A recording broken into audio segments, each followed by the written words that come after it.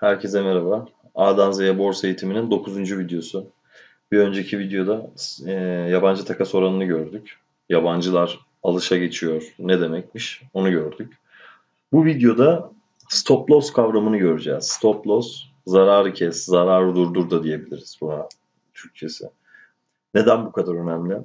onu göreceğiz. Şimdi ilk önce ben size bunu gösteriyorum. Çünkü bu nereden alacağımızdan daha önemli bir.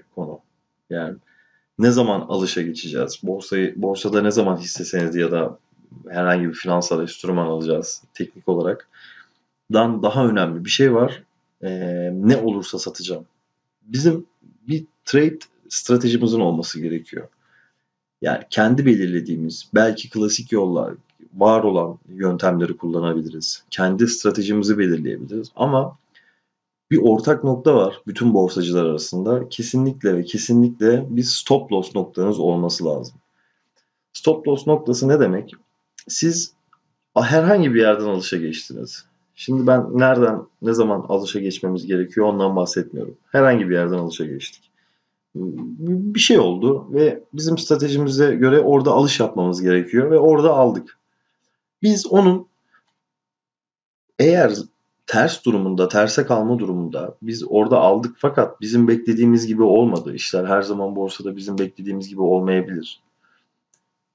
Bizim karar, biz belli bir karar vermiş olabiliriz. O karardan çok da emin olmuş olabiliriz. Ama bizim beklediğimiz gerçekleşmek zorunda değil. Burada bir e, bu borsada ne yazık ki bunun kesin bir kuralı yok. Var diyen de yani ben şüpheyle bakarım açıkçası. Borsada ne yazık ki bir kesin kural yok. Fakat yine istatistiksel olarak yüksek ihtimalle bazı hareketler var. O, o durumlardan sonra bo, borsa yükselişe geçiyor veya düşüşe geçiyor. Biz bunu görebiliyoruz. Yine bu, bu durumlardan bir tanesini gördük ve borsada farz edelim ki e, burada alışa geçtik. Tam şu hizada alışa geçtik. Buradaki fiyat 88.450'den alışa geçtik. Bizim bir stop loss stratejimiz olması lazım. Örnek veriyorum. Ben diyorum ki ben burada alışa geçtim fakat benim kararım yan, yani yanlış olabilir. Bu çok normal bir şey ve eğer ben aldığım yerden yüzde üç aşağı düşerse ben zararına satacağım. Neden zararına satacağım? Çünkü büyük bir zarardan kurtaracağım kendimi. Eğer bunu yapmazsak borsada ya işler bizi çok kötüye götürebilir. Hani borsada neden batılıyor? Neden büyük paralar kaybediliyor? Bunun birinci nedeni borsada e, stop loss olmaması yatırımcılarda. Örneğin burada düşen bir piyasada yükseliş gördüm. Benim beklentilerim gerçekleşti yani artık alış için uygun bir e, hal aldı borsa benim stratejime göre ve ben şurada bakıyorum sağ taraftan 104.500 104.000'den alışa geçtim. Ve ben diyorum ki olası bir ihtimalle ben yani hatalı olabilir benim dediğim olmak zorunda değil. Ve ben %3 aşağısına şuranın biraz daha üstüne %3 aşağısına %4 diyelim. %4 aşağısına stop koyacağım. Eğer benim aldığım fiyattan %4 aşağısına giderse ben işlemi durduracağım. Neden? Çünkü benim stratejime göre %4'ten daha aşağı gidemez aldığım yerde. Ve gördüğünüz gibi ben burada işlemi kapatıyorum arkadaşlar tamamen pozisyonumu kapatıyorum. Portföyü nakite döndürüyorum. %4 zarar ediyorum ama %4'ten fazla zarar etmeyeceğimi biliyorum. Ve burada gördüğünüz şu hatta burası hatta burası belki beklersem burada %20'lik bir zarardan kurtuluyorum. %20'lik bir zarardan kurtulmuyorum sadece. Şurada gördüğünüz 4 Haziran'dan 20 Ağustos'a kadar, Eylül ayına kadar neredeyse bir 4-5 aylık paramı e, bir 4-5 aylık param mecburi bir şekilde hisse senedinde kalacaktı. Hem 5 ay zaman kaybı yapacaktım. Yani 5 ay zaman kaybı ne demek? %20 mevduattan. Yani mevduata koyabilirdim o parayı. Her ay %2 gelecekti bana. %2 kar yapacaktım sadece mevduattan. Artı öyle bir öyle bir zararım olmuş oluyor biliyorsunuz eğer borsada işlem yapıyorsanız sizin bir e, fırsat maliyetiniz olması lazım. Nedir bu fırsat maliyeti? Ben eğer o parayı bir para var. Ben bu parayı değerlendireceğim. Ben bu parayı kara getireceğim. Arttırmak istiyorum. Ben bu parayı borsada arttırmak istiyorum.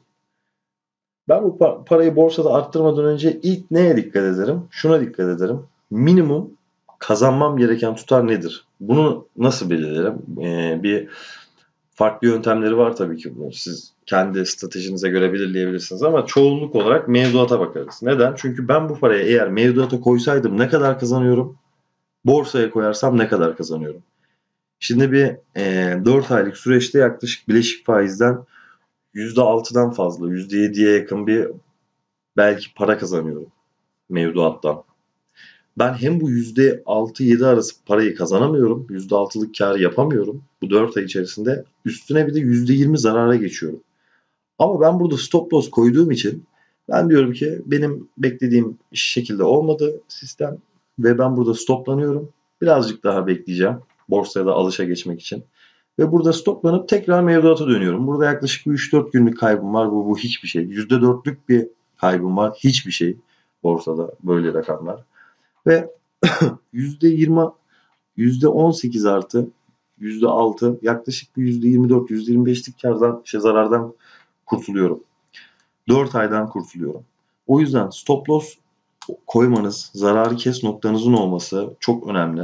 Mutlaka bir işlem açıyorsanız ilk önce e, özellikle de amatör borsacılar her zaman bir hedef belirler borsada. Mesela burada alıyorum herhalde.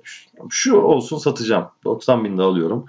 100 bin olsun satacağım. Bunu söylemek çok basittir. Ama önemli olan burada şunu söylemek. 90 binde alıyorum.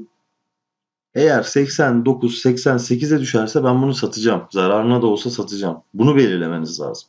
Yani hedef her zaman belirlenir. Kara geçtikte, kara, kara geçtiğiniz sürece elinizde tutmanız lazım. Ha bizde ne var? Bu yani çok ilginç. Ben bunu da çok anlamıyorum ama ya zarardayken inanılmaz bir malı tutuyoruz. Hisse senedini elimizde tutuyoruz. Eğer bizim aldığımız yerden artışa geçsin, ertesi gün, ertesi gün, ikinci, üçüncü gün dayanamıyoruz, kar al yapıyoruz. Fakat piyasa daha da gidiyor. Ee, yani çok ilginç ama olması gereken tam tersi. Bunun zarardayken hemen hisse senedini satmamız, hemen maldan çıkmamız, riskten kurtulmamız, kardayken beklememiz. Yani bu aslında böyle olması lazım ama burada finansal psikoloji devreye girdiği için çok da bunu yönetemiyoruz. Bunun psikolojik kısmı da çok önemli. Ee, buna ekleyebileceğim başka da bir şey yok. Ee, umarım anlatabilmişimdir. Bir sonraki videoda görüşmek üzere.